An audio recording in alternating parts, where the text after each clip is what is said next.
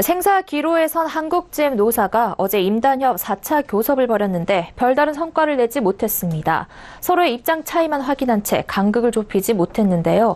실사는 시작도 못했고 이대로 가다간 한국GM 핵심 회생 카드인 신차 배정마저 불발되는 게 아니냐는 우려가 나오고 있습니다.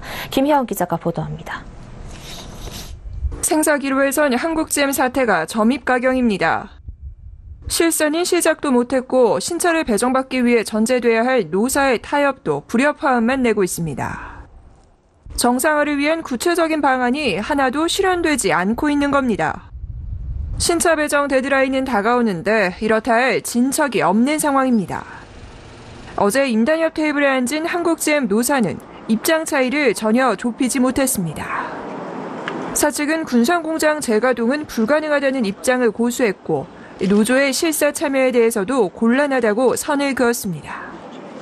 노조는 외국인 임원 관련 비용을 공개하고 군산공장에 전기차 같은 친환경 차를 생산할 수 있는 안을 가져오라며 강경한 입장을 전했습니다. 막상 이루어져야 할 인건비 등 본사가 신차 배정 전제 조건으로 내세웠던 노조의 고통 분담은 논의조차 되지 못한 겁니다. 본사가 한국 GM만을 위해 글로벌 생산 물량 배정을 무작정 미룰 순 없는 상황. 더 이상 시간이 많지 않다는 겁니다. 실제 한국 GM 사장은 어제 열린 임단협에서 GM 본사의 한국 신차 배정이 무산될 가능성을 내비치기도 했습니다. 카오카즘 사장은 제품 배정 가능성이 위험한 상황이라며 본사가 회생 계획 진전을 기다려주고 있지만 무기한 결정을 보류할 순 없다고 전했습니다. 당장 갚아야 할 돈도 만만치 않습니다.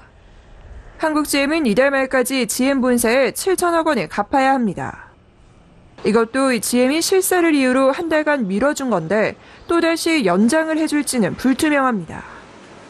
4월 초에 갚을 돈도 9,880억 원에 달합니다. 당장 발등에 불이 떨어진 셈입니다.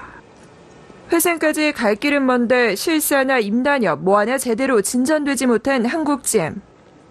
신차 배정 무상 가능성까지 제기되며 한국GM 사태가 점점 악화되고 있습니다. 서울경제TV 김혜영입니다.